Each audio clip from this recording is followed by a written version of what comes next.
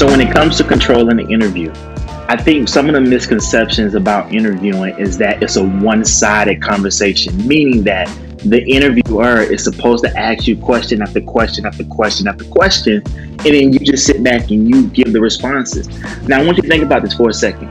In what discussion have you ever had when you're engaged where one person is asking you all the questions and the only thing you can do is respond, and then at the end you get to ask questions?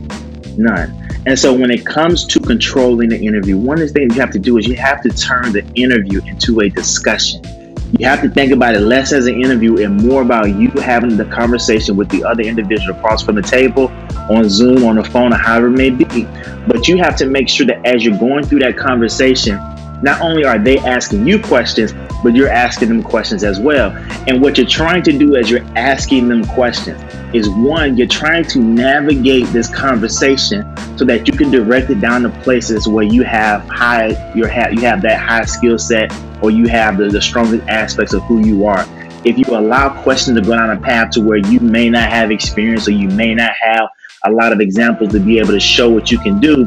then you're going to be able, be put in a position to where kind of your back is against the wall and you're not being able to show your true self. And so, if you navigate and guide that conversation by asking questions, asking how is this done in the organization, asking, you know, what type of things are they looking for in an individual to come into this role? What were some of the things that, you know, they wish they could have that they didn't have, you know, previously? What's the future outlook of the organization? All these various different things. When someone says, you know, give me an example when you worked on a team and the project didn't go well, you turn around, giving your answer, and then coming back with saying, well, then how does the organization react when individuals fail? Is it a culture that promotes not necessarily failing, but having that bandwidth to do so, knowing that you can learn and grow?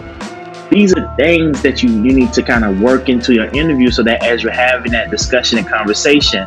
you're continuously indirectly showing why you're the best for that role. But then also you're taking the conversation down paths that are your strengths and as you direct the conversation and you have that back and forth engagement, it's going to feel less like an interview and more like a discussion so that when you have that overall feedback from the interview team, it's that we were able to connect, we were able to engage with such and such. So as you control that interview, remember,